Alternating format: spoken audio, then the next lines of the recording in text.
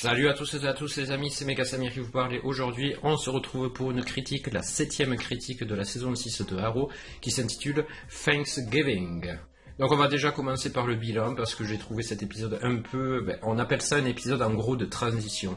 Ça a été la même chose concernant les trois dernières saisons de Arrow parce que voilà il y avait les trois derniers crossovers et je trouve que plus dans cette série on retrouve des épisodes de transition. Par exemple l'année dernière il me semble que c'était ça en était un où il y avait rien qui se passait quoi, aucune euh, aucune trame rouge. En fait c'était des épisodes en gros pour surplomber et pour donner envie aux spectateurs de regarder la suite et pour donner envie aux spectateurs, en gros, de, regarder le crossover. Là, ça a été la même chose parce qu'en gros, rien ne s'est passé en soi. On ne sait pas quel est le méchant principal, on ne sait pas quel est le but de Keaton James, le méchant qui apparaît dans cet épisode.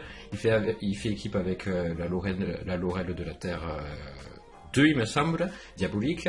Donc en gros, on ne sait pas ce qui se passe, pourquoi les méchants font des trucs de méchants, et pourquoi les gentils essayent de les stopper. En soi, c'est ça. Donc en gros, le point négatif, je l'ai cité auparavant, c'est le fait que voilà, c'est un épisode de transition où rien ne se passe. Bon, j'exagère un peu en disant que rien ne se passe, mais pour moi, c'est mon ressenti. En fait, j'ai vu 40 minutes ben, de de transition quoi, entre l'épisode euh, de Slade qui a été exceptionnel, le dernier épisode là, jusqu'à l'épisode de crossover. Voilà.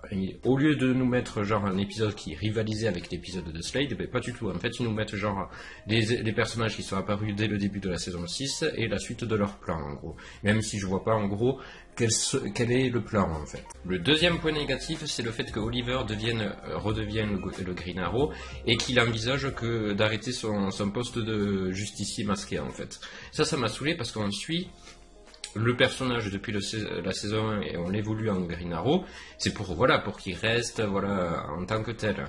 Mais moi aussi, j'avais aussi un petit peu kiffé le fait que ça soit Deagle qui partageait un petit peu le secret pour, euh, pour empêcher ben, le FBI de découvrir que Oliver était Green Arrow. Mais après, je pensais en fait qu'il allait y avoir un truc, euh, voilà, un truc qui nous allait nous surprendre pour que Deagle prenne la place en fait, enfin pour que Oliver reprenne sa place en fait, pour, euh, parce qu'on sait très bien que Oliver redevient Green Arrow dans le crossover. Je pense que ça va être uniquement dans ce crossover. Je vois pas pourquoi ils font ça, parce que voilà, le but de cette série, c'est que Oliver devienne un Green Arrow. Pas que, euh, pas que Deagle soit Green Arrow, vu que dans les comics, c'est Oliver. Je sais pas pourquoi ils envisagent cette possibilité. Peut-être que ça va être ça donc euh, jusqu'à la fin de la saison 6. J'espère pas parce que ça va ruiner en fait le mystère, enfin le mystère, ben, le but de cette série selon moi.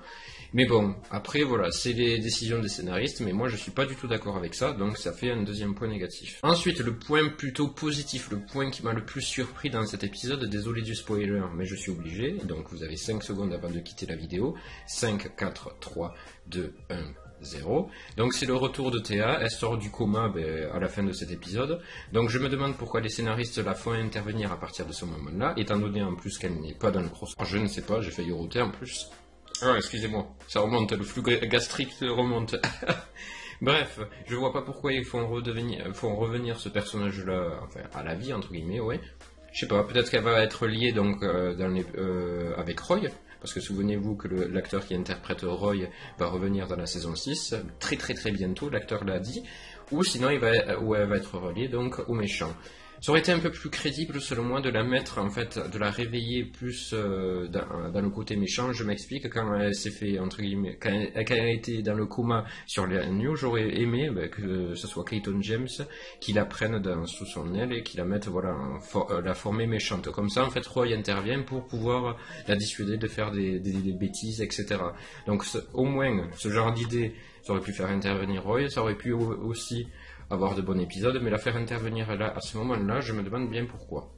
Telle est la conclure, donc je vais noter cet épisode un 5 sur 10, je suis désolé, il m'a pas convaincu, tout comme l'épisode de Flash, bon si, l'épisode de Flash en soi m'a convaincu, mais c'est pas vraiment un épisode de transition. Souvenez-vous donc de l'épisode 7 de la saison 5, je crois que j'avais fait la même euh, remarque, c'était quoi déjà l'épisode 7 de la saison 5 J'essaye de me souvenir, mais ça remonte à un an, et je ne vois pas du tout ce que ça peut être. C'est pas le truc euh, avec Vigilante, me semble. J'essaie de me souvenir. Non. Bref, il me semble que dans l'épisode de la, saison dernière, le même temps, quoi, l'épisode 7, c'était aussi un épisode de transition. Mais c'est vraiment dommage en fait qu'ils font ça parce que euh, ça gaspille en soi une histoire en fait. Au lieu de nous mettre voilà une, trame rouge qui, qui suit quoi, moi le seul vrai problème en fait de cette saison 6, c'est que on distingue pas vraiment le méchant principal en fait. Dans les cinq premières saisons ça a été ça. Peut-être qu'ils forment genre une alliance, peut-être qu'il y aura une team en fait de vilains, c'est ce, euh, ce que j'espère, mais il faudrait que ça soit à ce moment-là qu'ils se réunissent quoi pour pouvoir éradiquer donc euh, éradiquer bien un bien grand mot mais pour pouvoir euh, pour pouvoir détruire un petit peu les, les gentils ça commencerait un petit peu euh, à être intéressant. Mais non. Je crois qu'ils se, que les méchants font leur propre histoire euh, chacun de leur côté. Et peut-être qu'ils vont se rejoindre ben, dans l'épisode 11, 12, etc. Mais à voir vraiment comment ils vont faire aussi intervenir le... C'est dommage. Là aussi, je reviens à dire un truc. C'est qu'il n'y a aucun lien avec le crossover. Sachez que dans DC Legends of Tomorrow, l'année dernière, il y avait un lien. Mais là, pas du tout en fait. Alors les gens, merci à tous et à tous d'avoir suivi cette petite critique à ma compagnie. N'hésitez pas donc à mettre un petit pouce bleu, ça te fait toujours plaisir au moral, à partager la vidéo, à vous abonner à la chaîne si ce n'est pas déjà fait, à vous abonner aussi sur mes réseaux sociaux, Instagram Twitter, le méga Samir, c'est très simple. Et moi je vous retrouve donc, euh, alors lundi c'est les deux épisodes donc de Supergirl et de Flash, ou de Arrow, je ne sais plus, et mardi soir c'est Arrow ou Flash avec DC Legends of Tomorrow. Ce qui signifie que donc je mettrai la critique des quatre épisodes, donc les quatre parties de crossover, mercredi me semble, si je compte bien. Et moi je le verrai ben, d'un coup en fait, vu que je travaille pas. Aussi, j'espère aussi que vous vous êtes pas déçus parce que euh, je décale un petit peu un jour après les, critiques euh, de Arrow et de Flash cette semaine parce que je travaille, j'ai pas vraiment le temps de critiquer cet épisode en soi et de le regarder. Ça fait en gros plus de 3 heures et vu que je travaille en plein milieu et que je révise quelque chose, voilà, j'ai pas vraiment le temps. Bref, voici les soucis de ma vie. Merci à tous et à tous d'avoir suivi cette petite vidéo et je vous retrouve donc mercredi prochain pour une nouvelle critique. C'était Samir. Bye tout le monde.